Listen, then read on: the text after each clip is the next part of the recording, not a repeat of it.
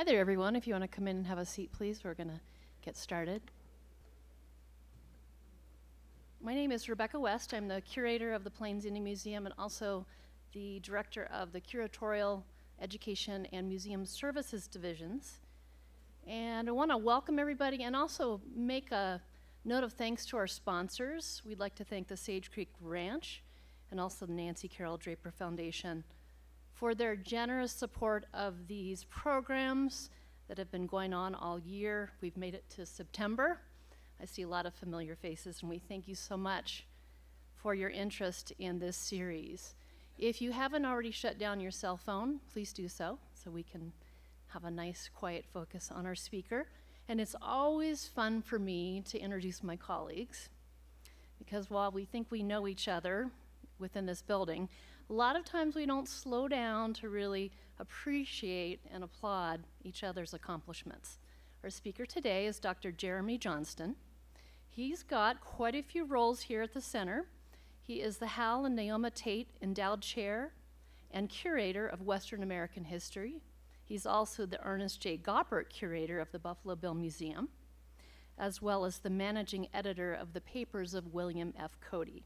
So, what exactly do all these titles mean? Well, it means that while we don't always know exactly which project Jeremy is working on, we do know that it always adds to the wealth of knowledge to the center, but it also adds to the massive amounts of facts that are crammed in Jeremy's head.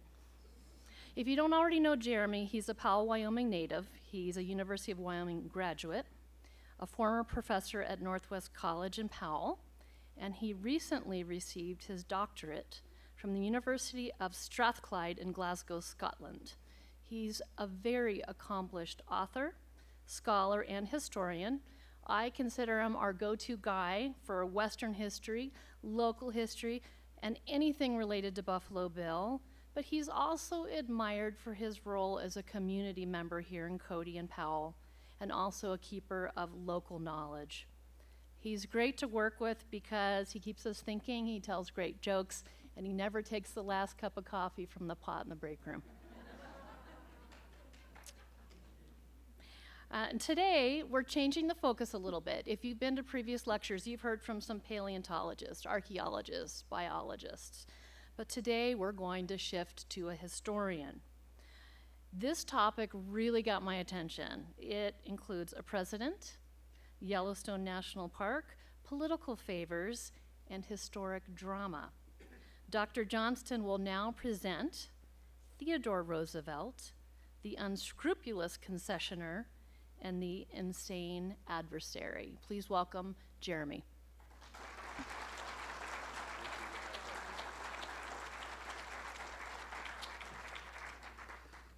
Thank you, Rebecca. I need to save that introduction.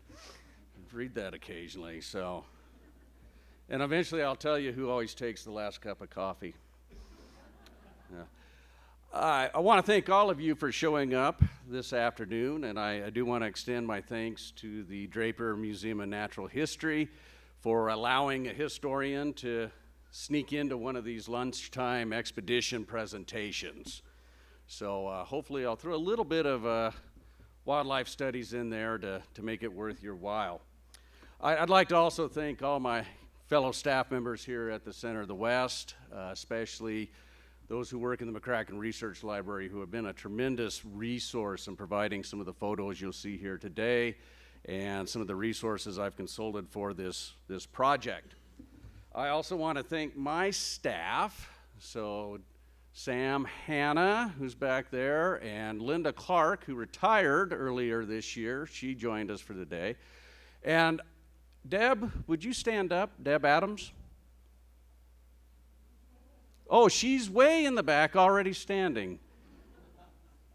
So, Deb has been with me a very long time.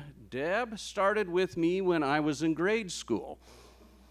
Yes, I know I'm number one. I think that's the finger you're holding up there. But uh, anyway, uh, Deb has been with me since grade school. She was a teacher's assistant when I was a, a student struggling through elementary school. Uh, about eight years ago, eight, nine years ago, she started working with me with the papers of William F. Cody. And uh, Deb's last day will be Saturday. She's decided to retire. So if you would, please give Deb a round of applause for putting up with me for so long.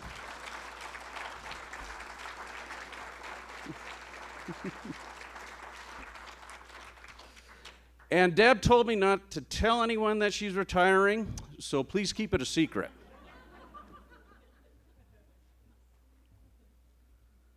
All right.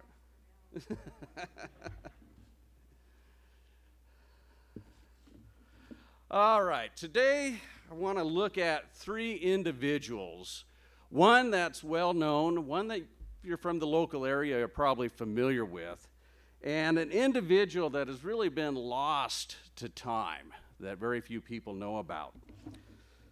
So, uh, this, this topic first came about when I was working on my master's thesis. I was looking at Theodore Roosevelt's connections to Yellowstone National Park and his influence on the, the future management of Yellowstone. And I came across this book. It's called Autobiography of Roosevelt's Adversary by James Fullerton. And I'll talk about this book more as we get into the presentation. But uh, at the time when I was working on my master's thesis, I think that this book has some really interesting accusations against Roosevelt and I contacted the park historian Lee Whittlesey.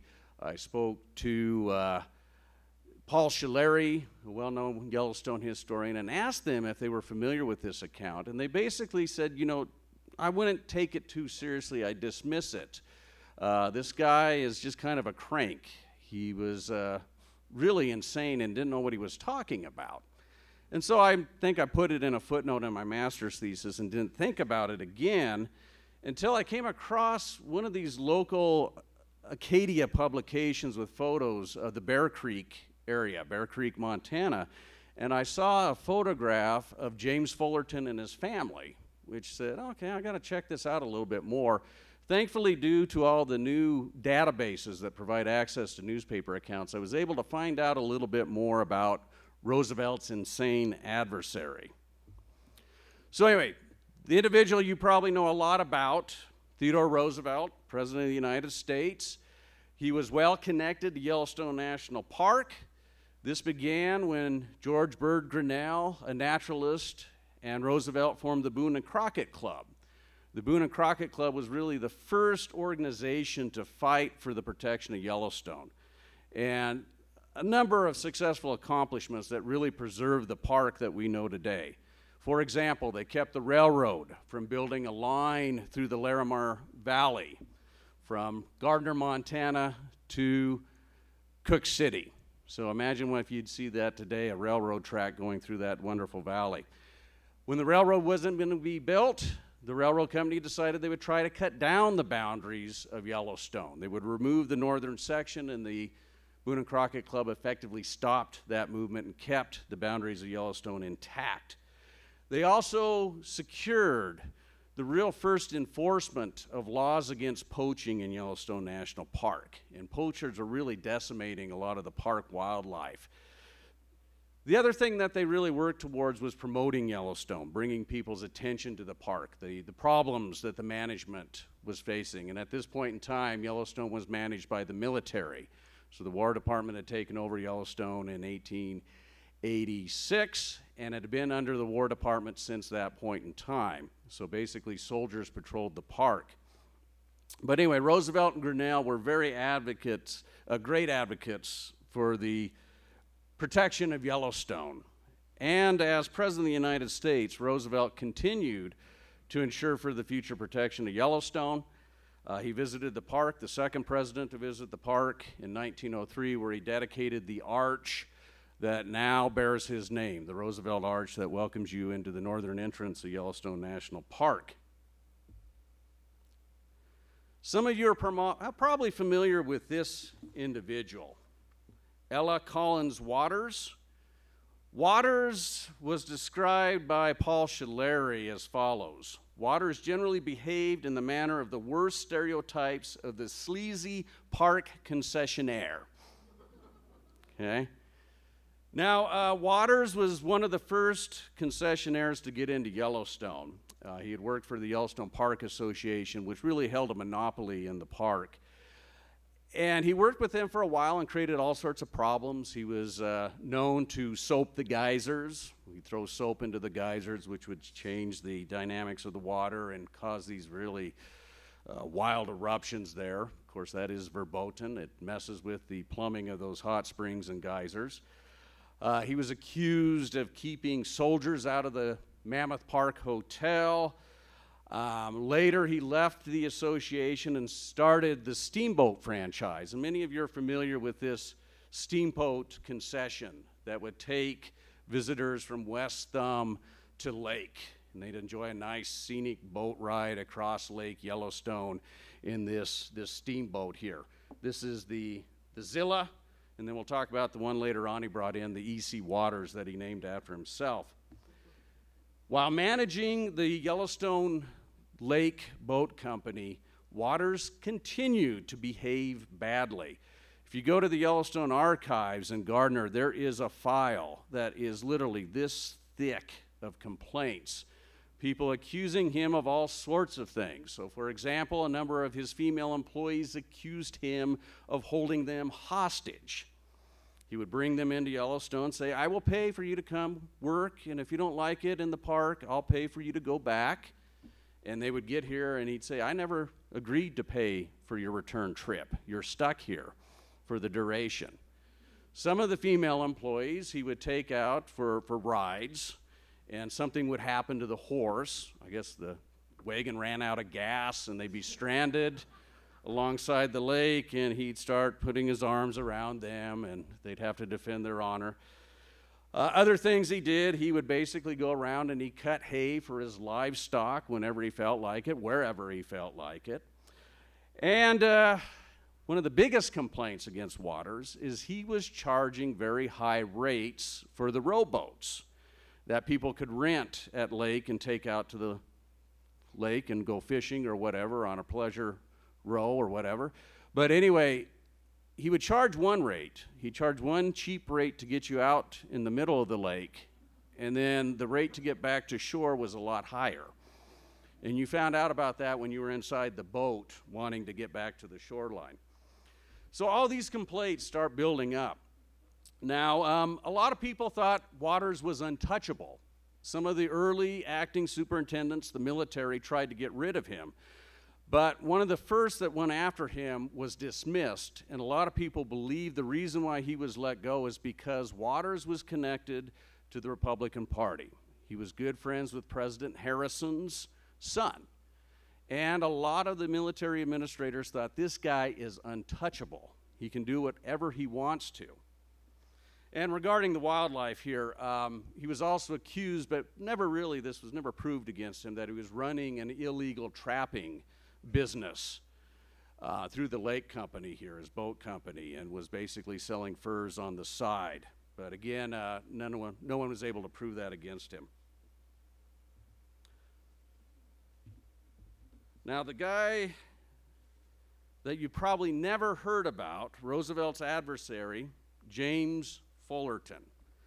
James Fullerton is an interesting individual, and he detailed his life experiences in his, his autobiography.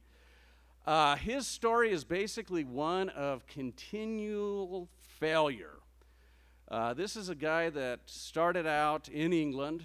He was an early day poacher. He poached on many of the, the estates there throughout Britain.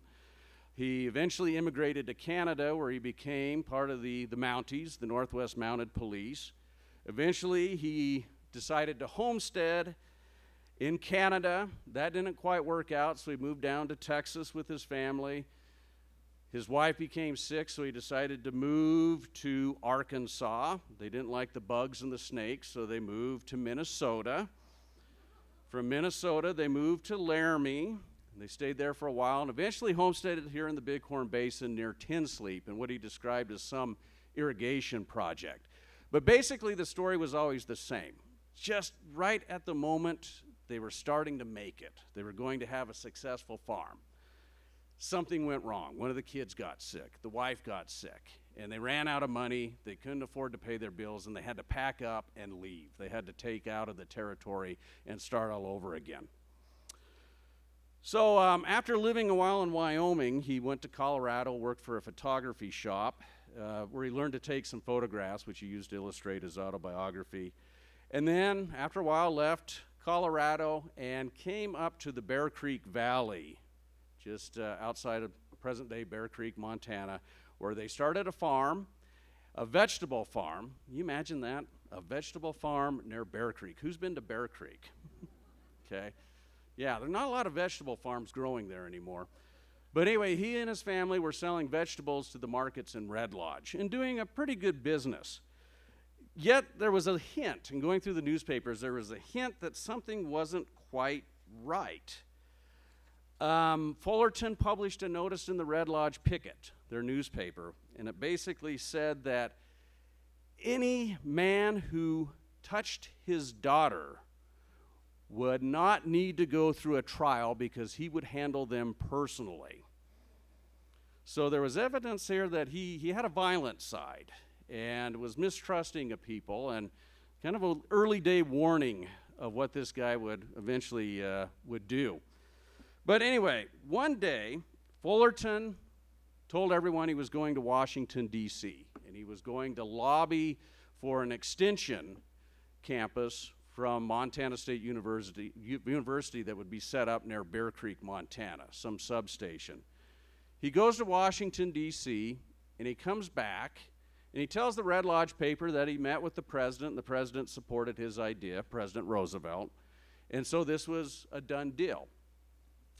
However, along the way from Washington, D.C. back to Montana, he was telling other reporters from various newspapers different stories. So he basically tells these reporters that he met with Roosevelt to draw attention to the mismanagement of Yellowstone National Park under Major Pitcher, the military superintendent at that point in time. He accused Pitcher of basically letting poachers run free in Yellowstone. And these poachers were decimating the park wildlife. They were being slaughtered. And it wouldn't be long before all the wildlife in the park would be gone. He accused Pitcher of grazing horses for his good friends on the best grazing land within the Yellowstone, which was stripping the grazing land that the bison were using. He accused Pitcher of misappropriating funds, $95,000 in building unnecessary roads. And uh, he also accused him of running illegal saloons all throughout the park for the soldiers and for corruptible people. Okay, so all these saloons were running wild open here in Yellowstone National Park. He also accused Major Pitcher of letting a renegade bear run loose in Yellowstone that would attack people camping out in their tents. Because, according to Fullerton, Pitcher was in cahoots with Harry Child, who ran the park concessions. Harry uh, Child ran the Yellowstone Park Company, which ran all the transportation and had built all those fine hotels that we see in Yellowstone today Lake Hotel, Old Faithful Inn. Okay.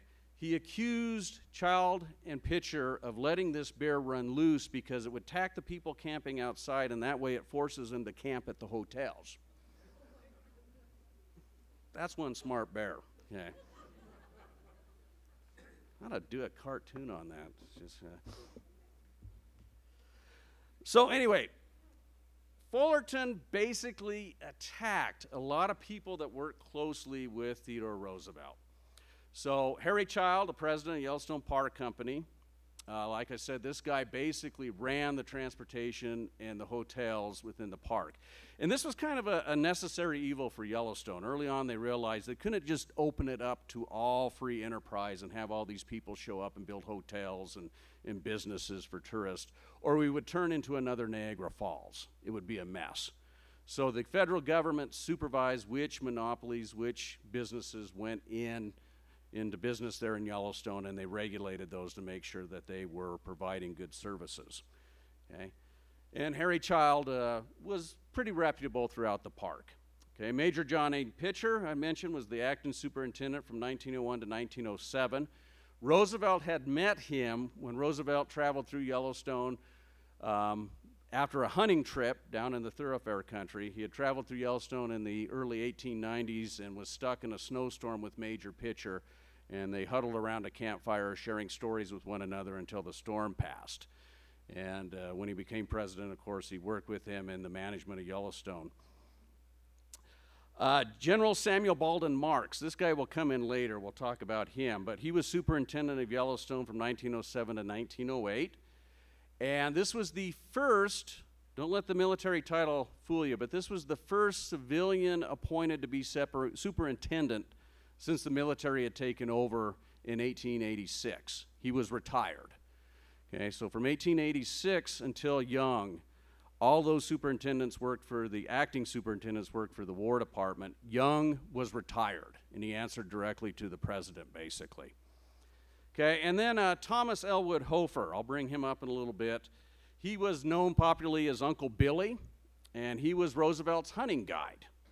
Okay, so it was actually Hofer who came in and investigated Fullerton's claim. And I thought this was really kind of a, a telling uh, story about Roosevelt's leadership qualities because instead of sending out nasty press releases, this is before tweets, instead of berating this guy as being insane or crazy, he actually sent Hofer out there to check the accusations and see what's going on with this guy.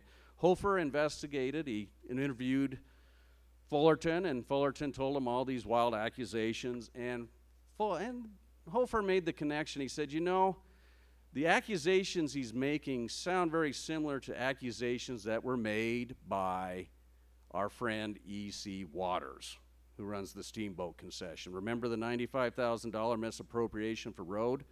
The main concern about that particular stretch of road is it would bypass the steamboat concession.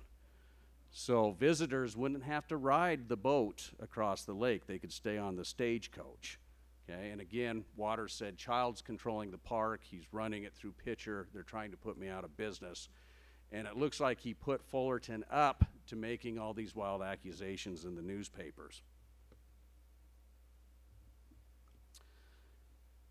Even though um, Hofer basically said Fullerton his accusations are, are incorrect. Roosevelt decided, you know, I'm going to be in Yellowstone. I'm going to basically check this out for myself. He actually investigated what was going on in Yellowstone. So he traveled through the park in the spring of 1903. Of course, this would have driven, uh, driven Waters absolutely nuts because here on these photographs, so you can see on the sleigh ride here, the guy that's on the right of the photograph with the mustache, that's Harry Child. Okay? The guy that's poking up behind Roosevelt's shoulder here, that's Billy Hofer. Okay? So, we have two people here that are connected to Waters and his accusations and Fullerton and his accusations. And Roosevelt is talking to them during this visit. And you can imagine that he's getting an earful about Waters and his steamboat concessions and all the complaints that have been generated by his mismanagement of this site. So after Roosevelt dedicates the arch and he leaves Yellowstone, he basically gives Major Pitcher free rein to run Waters out of the park. Okay? The first big step in driving waters out is to get rid of the steamboat concession, which was quite popular. And well, people enjoyed this nice ride across the lake, especially after a dusty ride in a stagecoach. But anyway, they went about this basically saying we need to bring in another concessionaire to run a steamboat franchise to produce competition. If we bring competition in the park, that'll drive the prices down. Waters will not be able to charge these unfair rates. Okay, Waters reacted by saying, you know what? I'm going to bring in an even bigger steamboat, the EC Waters, which will hold 500 passengers. Okay, the first boat held about 75. This was going to hold 500. The boat, we just found this out thanks to the research by Leslie Quinn, who works up in Yellowstone, but we did find out the boat actually passed its safety inspection. Um, oftentimes you'll hear, though, the boat was deemed unsafe and it wasn't allowed on the water, but it did pass an official inspection. But despite this, Pitcher said, no, we're not going to grant you an extension to your concession to put more people on the boat. And so Waters basically beached the EC Waters boat on Stevenson Island, and it sat there and sat there and sat there, and you can see it here in its ruinous state. You can still see the remains of this today. If you take the boat tour and go by Stevenson Island, you'll see the, the ribbing of the ship sticking above the waterline and the prop as well sticking up above there. So eventually it was set on fire because it was such a, an eyesore, as you can see here. But anyway, Waters lost his steamboat concession basically.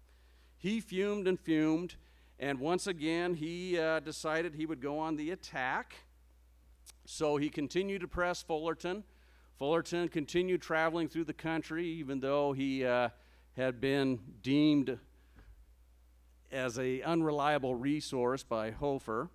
So he continued traveling around the country, spreading his crusade that Roosevelt was supporting all these illegal saloons in Yellowstone, and he was failing to dis, uh, display or uh, failing to displace Pitcher as manager of the park.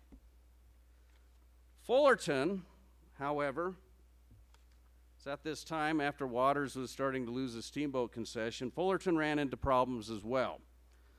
Fullerton attacked his son in law with a pitchfork and tried to kill him, according to the Billings Gazette. So, a trial was held to consider if Fullerton was sane.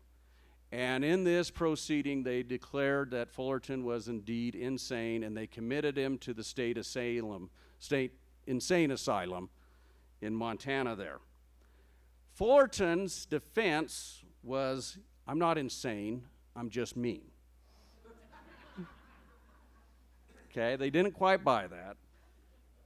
When asked about his accusations against Pitcher, he said the following He winked and said, I was no fool. I was paid for it. So, who paid him? Well, I know a lot of people like Pitcher and Roosevelt suspected Waters.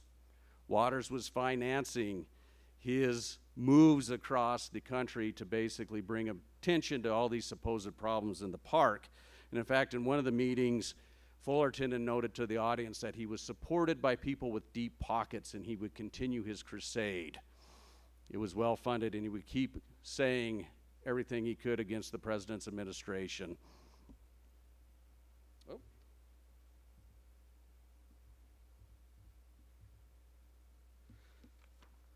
So the next,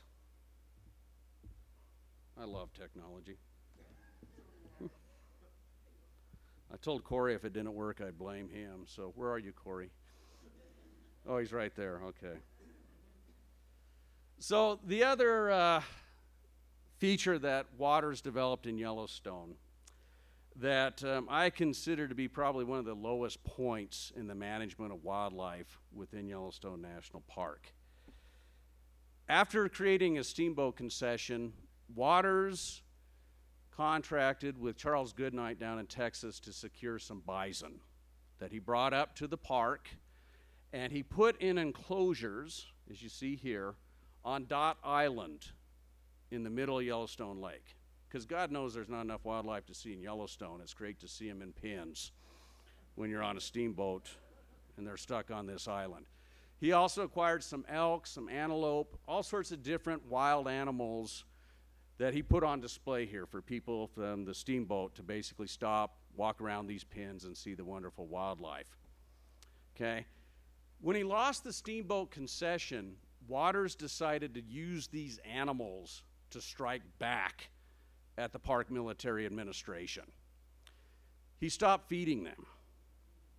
He stopped cleaning the pens. Not only the pens for these wild animals, which, by the way, these would winter next to Lake Hotel with all of Waters' domestic livestock. And keep in mind, all the domestic livestock and these animal pens are right next to Lake Hotel and they're not being cleaned. You can imagine the complaints that were being generated by the people staying at Lake Hotel. Okay? So, anyway, at this point in time, General Young had taken over Yellowstone National Park and basically said to Waters, get rid of these animals, turn them loose. We're not going to allow you to run this zoo anymore. Waters held the animals hostage. He said, No, I tell you what, I got a counteroffer. I'll sell these to the government. And he started naming a price. He brought in his attorney and they started negotiating. And at this time, Waters was really working Washington, D.C. through his Republican contacts and putting a lot of pressure on um, Roosevelt to do something. But it was great because whenever Roosevelt would receive a letter from somebody saying, You got to give Waters a fair deal, he's being mistreated by the park administration, he would say, Well, let me tell you, Waters and this guy Fullerton have been creating a lot of problems here, and I know from firsthand experience what they've been doing. So I'm not going to take action to protect Waters and his leases, his concessions within Yellowstone National Park. This basically gives General Young free rein to drive the animals out of Yellowstone. So on uh, October 15th, 1907, General Young orders the park, the military, to basically turn the animals loose. They tear down the pens, they tear down Waters' pens near Lake Hotel, and uh, they turn these animals loose. Waters was really upset. He threatened to sue the government for the loss of uh, the, his assets there, these wonderful animals he was going to sell to the government. And uh, basically, Young pointed out that these people, these animals had been mistreated. In fact, um, one complaint about the treatment of these animals, I'll read this to you. But one guy accused Waters of feeding the hungry animals, picked out, uh, the animals fed them potato peelings, pieces of vegetables, bits of meat. The filthy corrals, the noisome odors, and the sight of elk fed like hogs on stale garbage disgusted several of the passengers. So these animals were not in very healthy condition. Now, as a side, this connects us to Buffalo Bill here. You know I had to get Buffalo Bill in here some way. So all of the wildlife just kind of faded away. You know, all of Waters' animals disappeared, except for this mean bison bull that kept causing problems around lake and charging people, scaring them off. So Young came up with a brilliant idea. He ordered the soldiers to drive the buffalo up over Sylvan Pass into the valley of the North Fork of the Shoshone, where Buffalo Bill had recently completed Pahaska Teepee, his hunting lodge. So I don't know what happened to this bison bull, but uh, I have a feeling he didn't last very long. I often look at the bison skull that's on the fireplace in the old lodge at Pahaska Teepee and wonder if that was the, because they tell you it's the last buffalo Buffalo Bill killed. The tour guides up there tell you that, but I'm, I'm not sure. It may have been this bull that Waters had brought in.